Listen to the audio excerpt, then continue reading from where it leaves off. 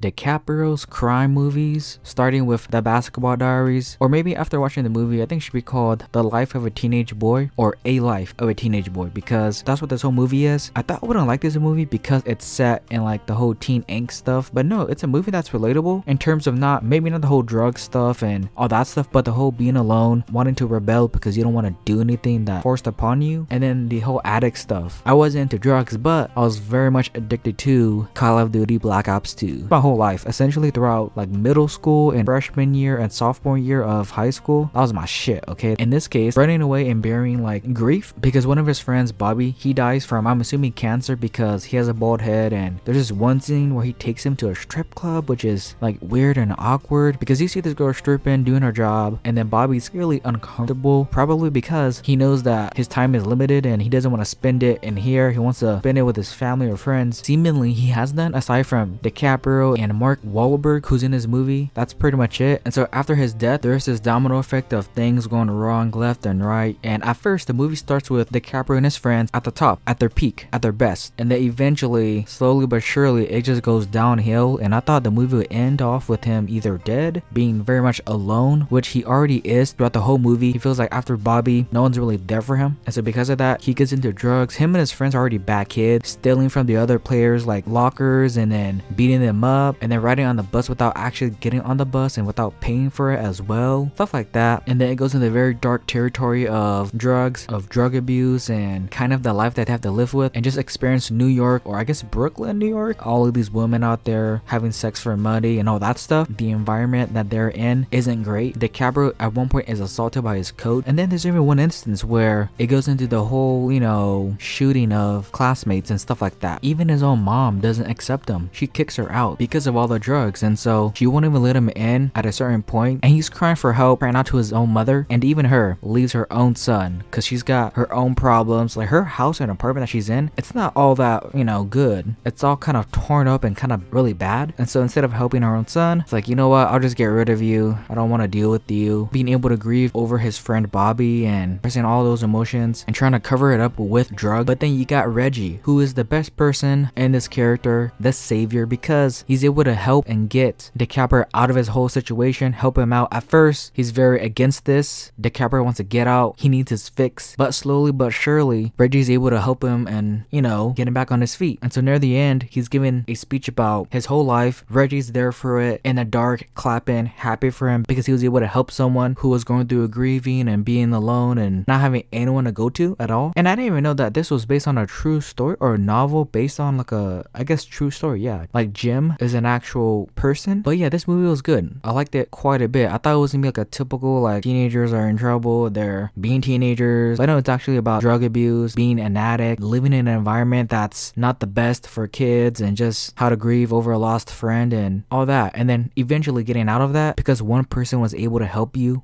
and then Catch Me If You Can, which is about DiCaprio running away from home. Which you know what? I think this one and Basketball Diaries is about DiCaprio running away from what he truly feels, or just kind of from reality and doing his own thing and running away from home. Is essentially in these two movies. You got Tom Hanks chasing after DiCaprio, who's like the biggest con artist. After his parents get divorced, he doesn't like, and so because of that, he runs away. He was very much close to his father because he taught him how to be like a con and just kind of con their way out of checks and whatnot. He runs away and starts the life of a con artist. And the amount of fraud and things that he gets away with is kind of crazy. He fakes checks. He's able to like fake being a fucking pilot, which how do you do that? How? And at one point, he's able to lie to Tom Hanks right in his face, saying that his name is Barry Allen, the fastest man alive, or I guess conest man alive or something like that, the fakest man alive, and he's able to get away from that. Stuff like that are really good. Lying to everyone. At first, actually doesn't work at first. Somehow get through the system and all that stuff. The cat and mouse storyline, that's really good. But because of this, eventually, DiCaprio's connection to his mom and father slowly and surely just goes away. He barely even knows them. By the end of the movie, his mother is already married to another man with his own daughter. Father, he is long just forgotten about him, played by Christopher Walken. And so really, he has no one else because of this con job and whatnot. He only has Tom Hanks. And throughout the movie, he gives him a call when he has no reason to at all whatsoever. And even Tom Hanks calls him out for it, being like, "You got no one, huh? You lonely shit." And it's like, yeah, I guess, you know. In his head, he was probably like, yeah, that's true, but whatever. But stop following me because it's annoying. But he can't because he's like breaking all these laws and being a complete fraud. He has like $4 million